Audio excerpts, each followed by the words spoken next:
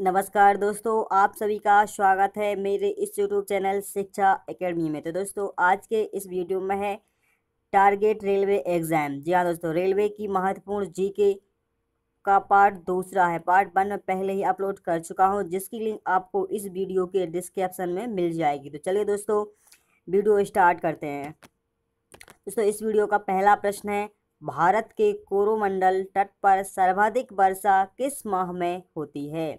तो इसका आंसर है दोस्तों, अक्टूबर, नवंबर माह में होती है।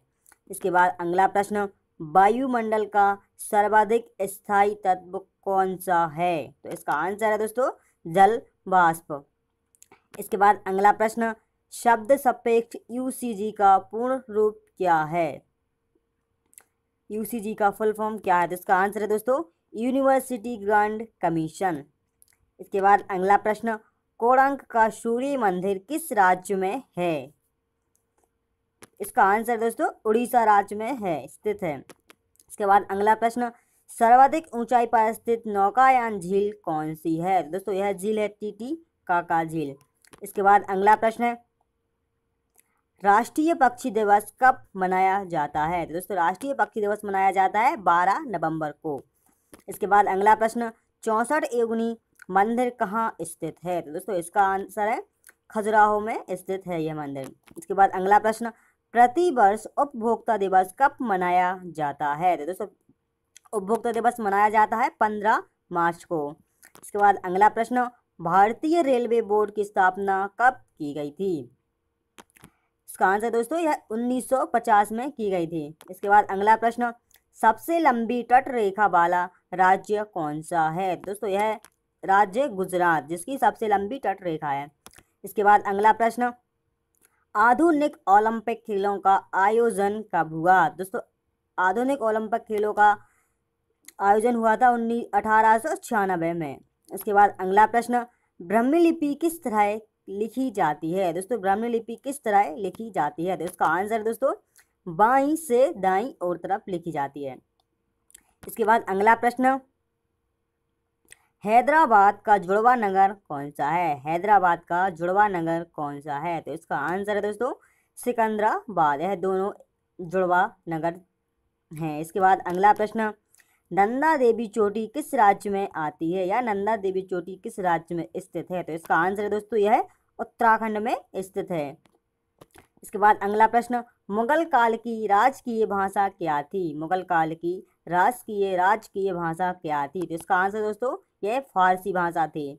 इसके बाद अगला प्रश्न, मानस वन्य जीव अभ्यारण्य किस राज्य में स्थित है? मानस वन जीव अभ्यारण्य किस राज्य में स्थित है? तो इसका आंसर दोस्तों, यह असम में स्थित है। इसके बाद अगला प्रश्न, प्रसिद्ध एलिफेंडा की गुफाएँ कहाँ स्थित हैं? प्रसिद्ध एलिफेंडा की गुफाएँ कहाँ स्थित हैं? तो इसका आंसर है दोस्तों, यह मुंबई के समीप स्थित हैं।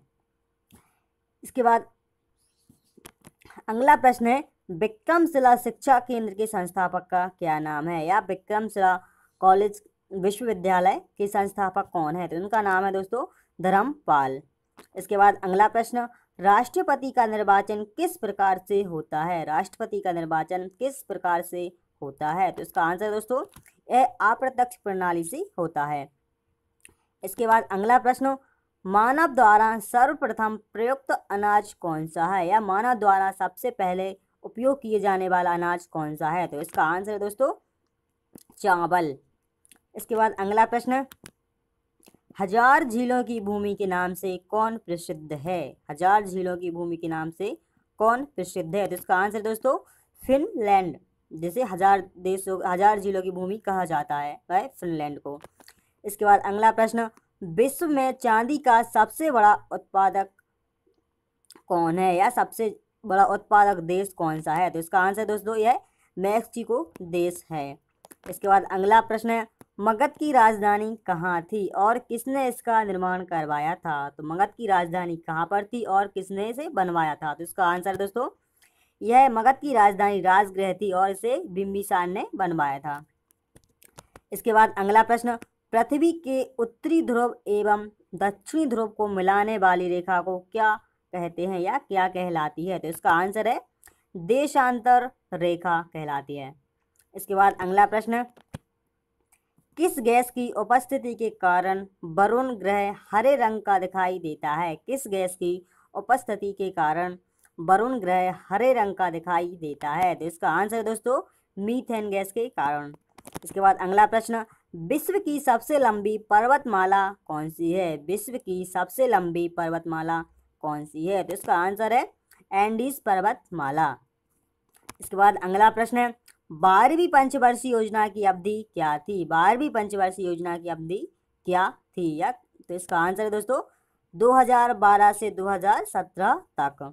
इसके बाद अगला प्रश्न, फतेहपुर सीकरी किस राज्य में स्थित है? फतेहपुर सीकरी किस राज्य में स्थित है? तो इसका आंसर दोस्तों, उत्तर प्रदेश राज्य में। अगला प्रश्न है, भारतीय राष्ट्रीय कांग्रेस के प्रथम महिला अध्यक्ष कौन बनी?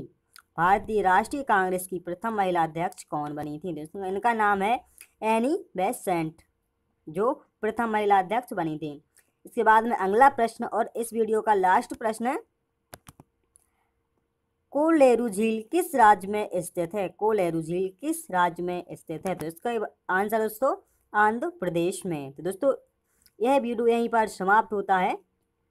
अगला वीडियो स्टार्ट होगा क्वेश्चन नंबर इकसठ से। दोस्तों, यह वीडियो यदि आपको पसंद आया हो तो प्लीज़ लाइक करें, शेयर करें और दोस्तों, सब्सक्राइब करना ना भूलें। यदि दोस्तों कोई इसमें गलती हो तो प्लीज़ कमेंट बॉक्स में मुझे करके ज़रूर बताएँ ताकि मैं आगे से उसका भी ध्यान रख सकूँ। चलिए दोस्तों, मिलते हैं अगले नेक्स्ट वीडियो में। तब तक के लिए दोस्तों बाय